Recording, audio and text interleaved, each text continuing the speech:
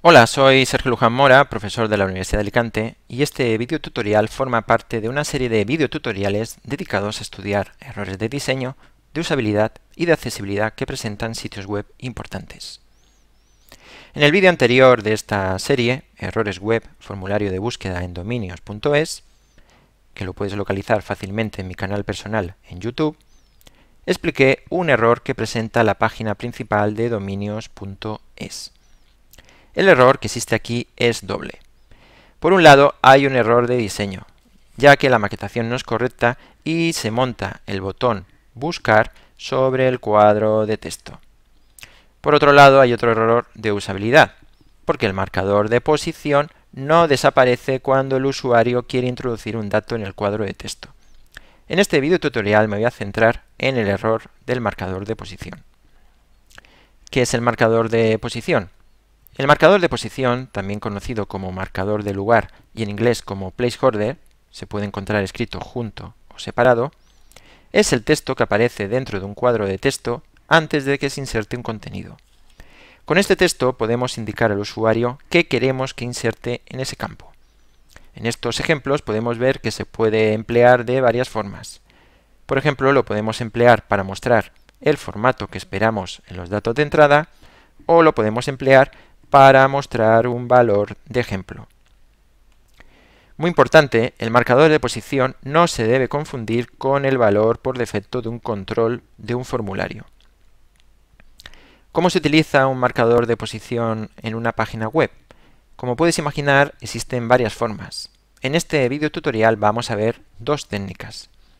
La primera técnica es la tradicional, la que se emplea desde hace muchos años. Aquí tenemos un cuadro de texto que va a tener dos estados.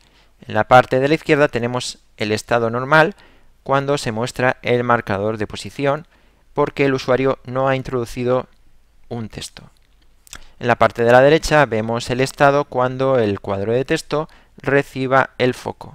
En ese momento debemos de eliminar el marcador de posición para permitir que el usuario introduzca su texto. ¿Cómo hacemos esto con HTML y JavaScript?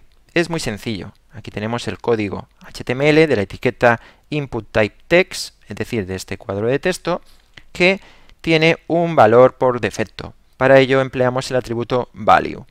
El valor por defecto va a ser nuestro marcador de posición, el texto por defecto. Ahora lo que tenemos que hacer es controlar, mediante código JavaScript, controlamos los dos posibles eventos que necesitamos para gestionar el marcador de posición. El evento onFocus, cuando recibe el foco, y el evento onBlur, cuando pierde el foco. Cuando el cuadro de texto reciba el foco, onFocus, debemos de comprobar el valor actual del cuadro de texto.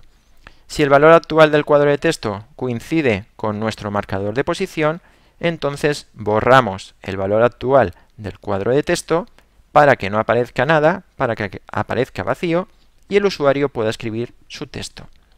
Sin embargo, cuando el cuadro de texto pierda el foco, debemos de comprobar en qué estado estamos. Con el evento onBlur vemos si el contenido del cuadro de texto está o no vacío. Si está vacío, debemos de restituir el marcador de posición. Sin embargo, si no está vacío, significa que el usuario ha escrito algo y dejamos ese texto que ha escrito el usuario. Esta solución funciona, pero tiene varios problemas. Primero, está desarrollada con JavaScript. ¿Qué pasa si JavaScript está desactivado? Y segundo, hay que programar, y cuanto menos se programe, mucho mejor. Afortunadamente, HTML5 incluye en su nueva especificación un nuevo atributo, llamado, como no, placeholder, que permite incluir un marcador de posición en los controles de tipo input y textArea. Podemos consultar la especificación oficial de HTML5 del World Wide Web Consortium, del W3C, para aprender a utilizar el nuevo atributo placeholder. El nuevo atributo placeholder es muy sencillo de utilizar y simplifica enormemente el código que tenemos que escribir.